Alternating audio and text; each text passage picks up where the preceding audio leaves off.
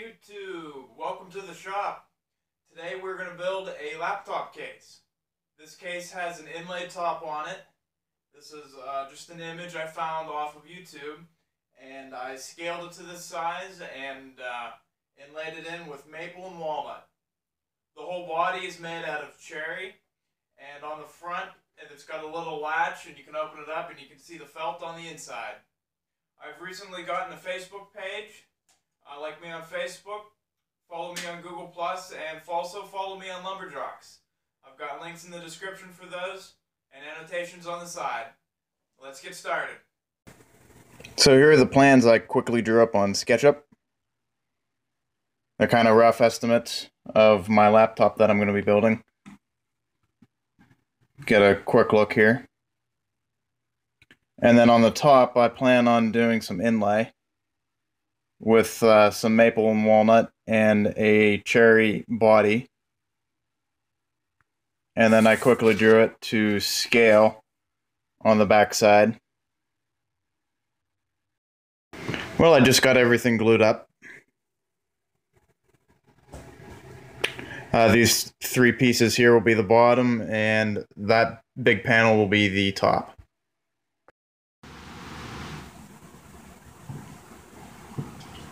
All right, well, I let the glue dry up for a couple days. It's been sitting in the clamps for quite a while.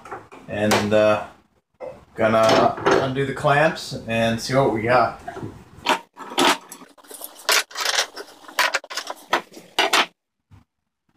So this is gonna be my bottom for the case. It's got some cool design with the sapwood on the edges. I think I, I kind of made that an accent, so we'll see what that looks like whenever we're done. And then this one's going to be the top. And again, I did the same with the accent. Although most of the top you're not going to see because of the inlay. Alright, well I'm just going to scrape off all the glue and then uh, we're going to get started planing.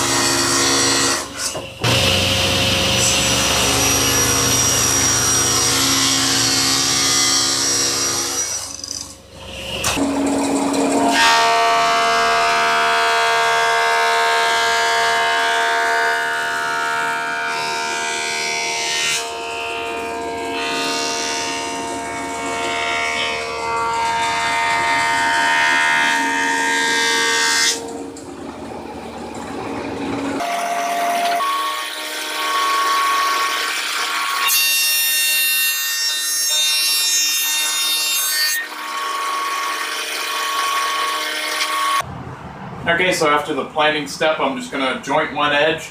That way it's square to the faces.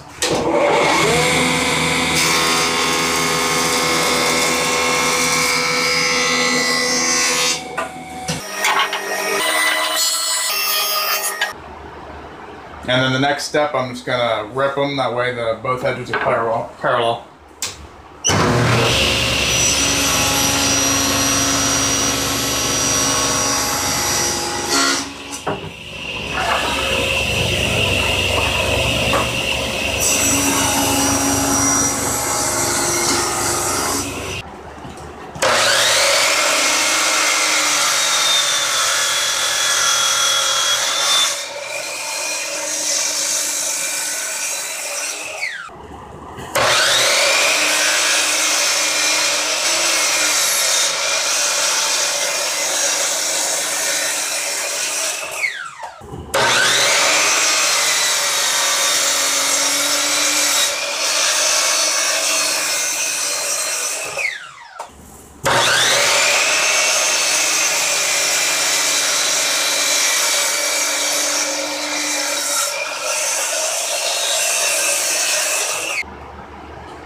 Them both cut, and now this is the beginnings of a laptop case. The top panel is a little bit thicker than the bottom, and that is because the top's going to have uh, inlay put in it, and you need to account for that. That way you're not routing through the innards of the box, because this will be milled out in the middle here, and same with the uh, bottom.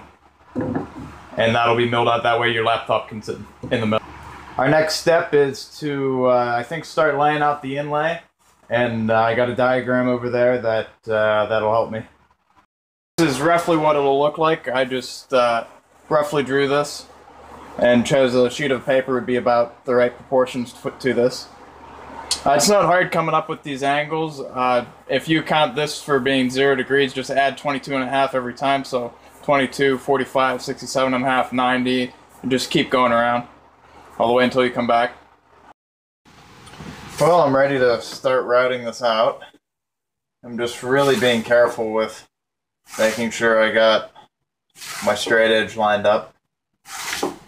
And uh, I'll just eyeball the corners, get it close, and then hammer the rest out with a chisel.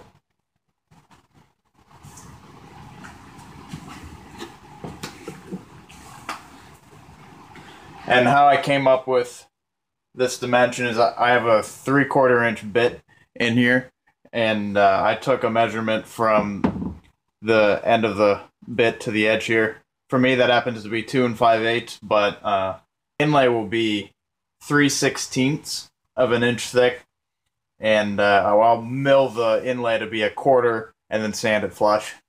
It'll be a little bit of sanding, but I have a drum sander, so.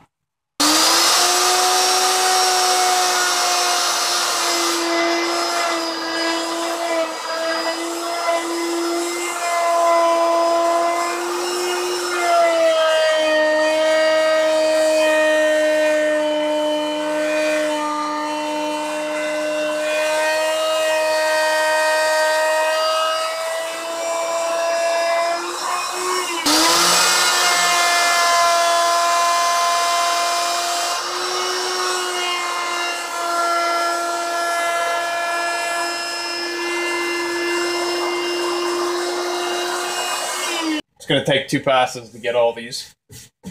And then after that, I'll just hog out the middle by hand. Well, I got the one border done. Now I'll move on to the secondary border and then hog out the center. And after that, I'll chisel all the corners and make sure they're uh, nice and square. The more time you spend making sure everything's nice and square and accurate is the less trouble you'll have whenever you're making the inlay. Well, I got the second border done. And now I'm just going to hog out the middle. I'm going to start at the very center and work my way out. That way the base of the router can stand on this and part of what's left over. So start at the center.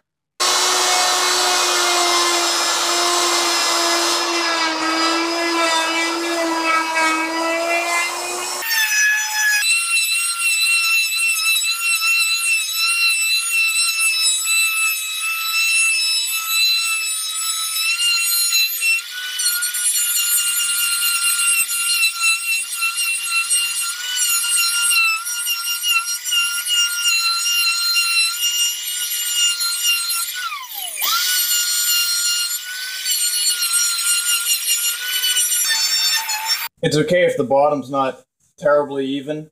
Uh, that'll the inlay will never notice that. Okay, I just got the uh, lines all marked out for the innards where the laptop will sit. I also have little finger spots that way you can uh, get your fingers in to pick up the laptop once it's in the case, and I have that for the bottom and the top. I don't know if you can see the lines, but you can kind of see front up there but uh, I got that all laid out. Well, I'm going to start routing out the insides of this. And then I'm only going to do the edges, and then I'm going to hog out the center with a uh, Forstner bit.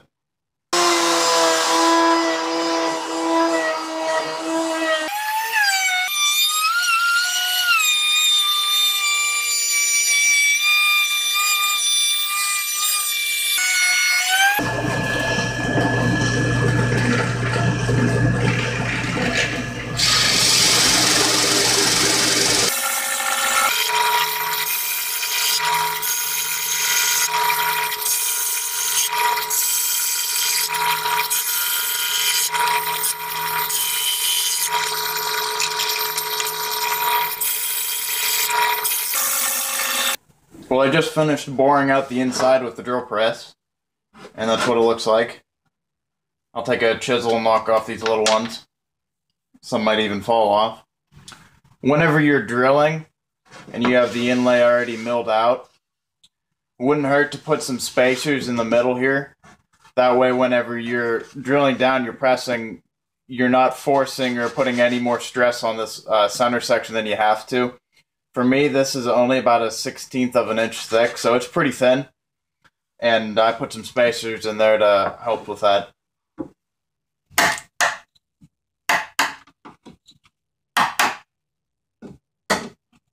While I have my chisel out, I might as well chisel these corners, make them square.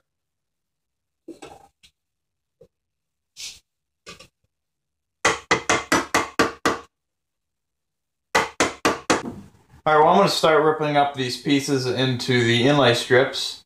And I'm making my inlay about a quarter of an inch and then I'll sand it to the 316.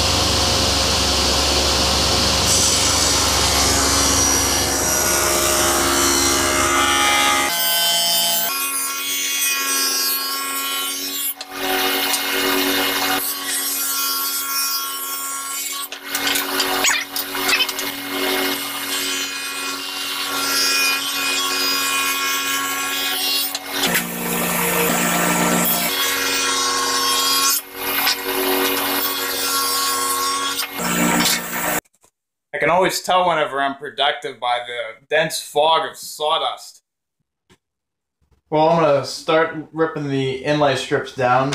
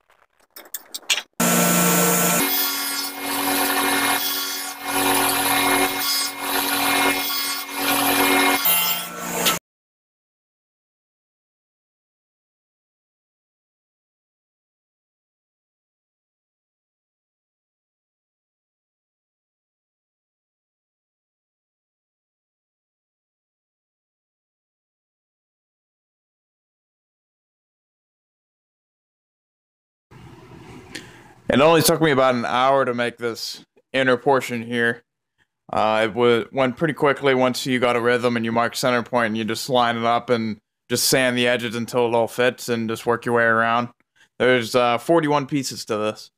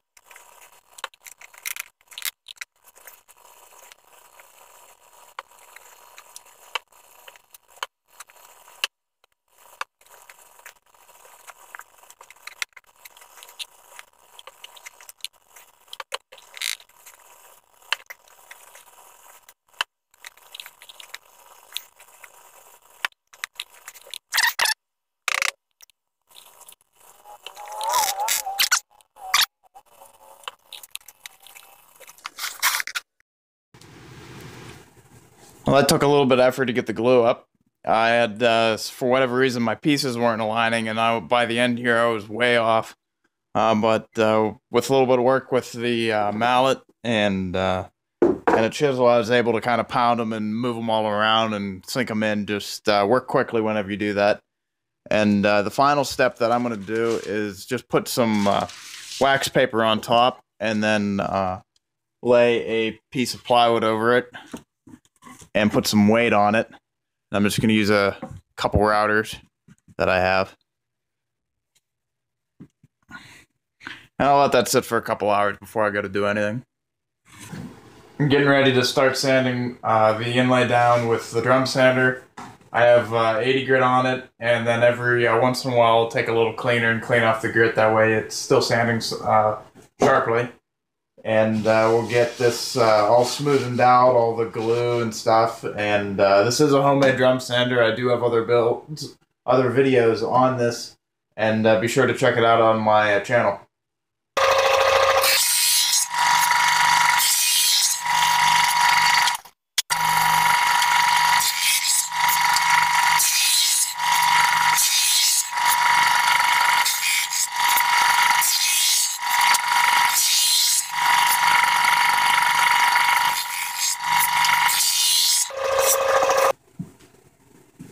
Well, it's been about an hour since I started, and I uh, just finished drum sanding it. It's nice and flat now. I can see where all the spots where I wasn't totally accurate, uh, but that'll that'll happen. I should have been more careful about what uh, pieces of maple I chose. This one centerpiece here is a different color, different color maple than the rest. I'm pretty sure it came out of the same wood, but uh, or same same piece of lumber, but uh, it's the way it goes. But once you finish boring step number one, it's time to start boring step number two, and that is more sanding. But now I'm going with 80 grit on a random orbit sander.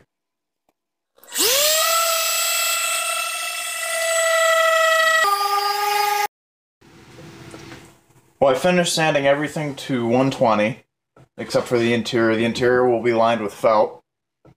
And I'm going to start uh, routing out the mortises for the or datas, whatever you want to call them, for the hinges.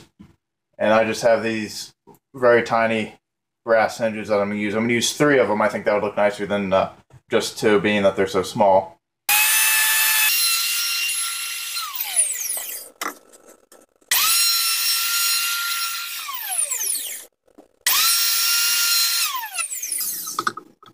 Now that I have them rough, roughly routed out, I'm going to take a chisel to it and uh, square them up.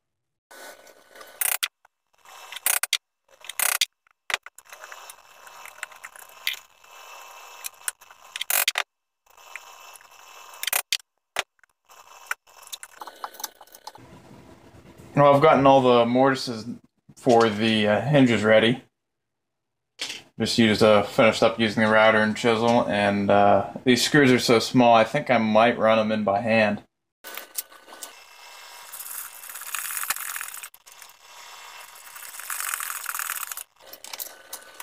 Well, I found a latch that I wanted, and unfortunately, it took me a while to find something like this with a key in it and it's a little bit taller than the actual laptop itself.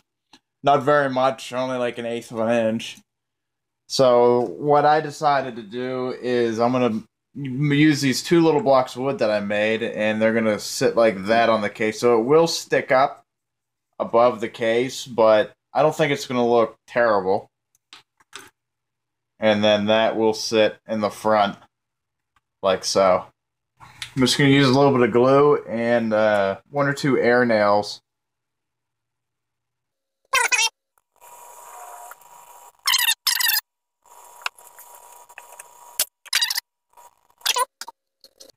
And do the same with the top.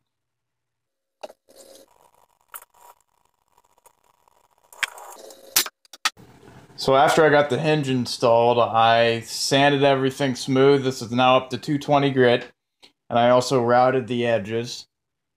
Uh, unfortunately, I wasn't thinking whenever I put this block of wood on. I should have routed the edge first, then put the block of wood on. Uh, but I was able to get it. So the next step after sanding everything is putting on a, a coat of lacquer. And I get mine from Sherwin Williams. Uh, it's a waterproof stuff.